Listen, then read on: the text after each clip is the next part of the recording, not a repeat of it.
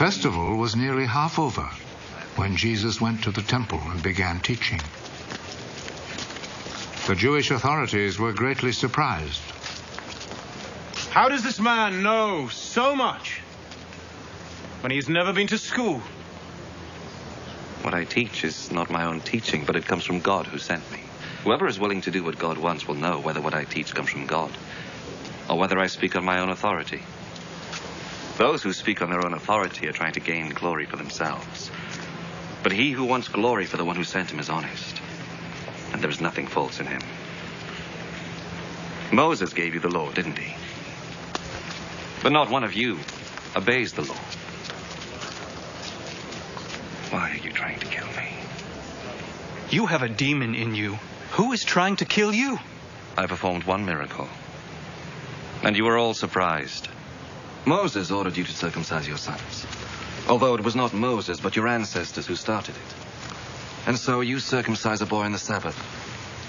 If a boy is circumcised on the Sabbath so that Moses' law is not broken, why are you angry with me? Because I made a man completely well on the Sabbath. Stop judging by external standards and judge by true standards. Some of the people of Jerusalem said, Isn't this the man the authorities are trying to kill? Look, he is talking in public, and they say nothing against him.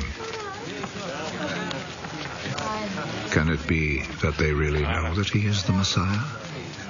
But when the Messiah comes, no one will know where he is from. And we all know where this man comes from. As Jesus taught in the temple, he said in a loud voice, Do you really know me? And know where I am from? I have not come on my own authority. He who sent me, however, is truthful. You do not know him, but I know him. Because I come from him. And he sent me. Then they tried to seize him.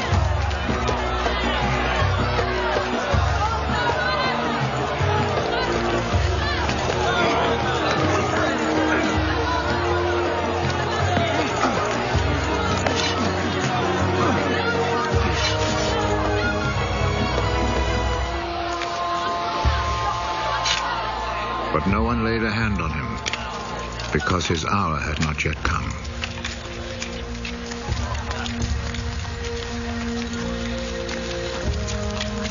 But many in the crowd believed in him. When the Messiah comes, will he perform more miracles than this man has? The Pharisees heard the crowd whispering these things about Jesus. So they and the chief priests sent some guards to arrest him.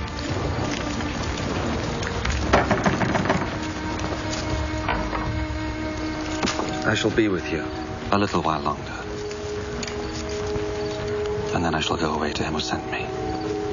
You will look for me, but you will not find me. Because you cannot go where I will be.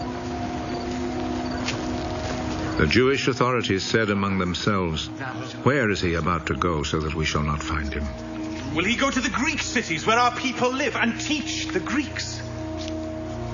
He says that we will look for him, but will not find him. And that we cannot go where he will be. What does he mean? On the last and most important day of the festival, Jesus stood up and said in a loud voice, Whoever is thirsty should come to me, and whoever believes in me should drink. As the scripture says, streams of life giving water will pour out from his side. Jesus said this about the Spirit, which those who believed in him were going to receive. At that time, the Spirit had not yet been given, because Jesus had not been raised to glory.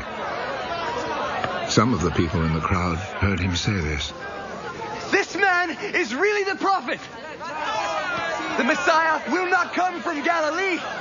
The scripture says that the Messiah will be a descendant of King David and will be born in Bethlehem, the town where David lived. So there was a division in the crowd because of Jesus. Some wanted to seize him, but no one laid a hand on him. When the guards went back, the chief priests and Pharisees asked them, Why did you not bring him? Nobody has ever talked the way this man does. Did he fool you, too? Have you ever known one of the authorities or one Pharisee to believe in him? This crowd does not know the law of Moses.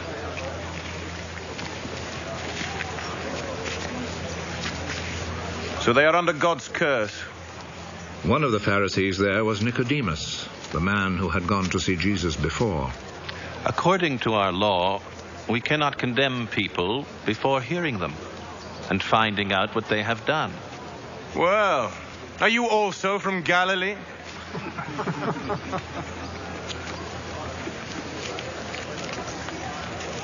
Study the scriptures, and you will learn that no prophet ever comes from Galilee.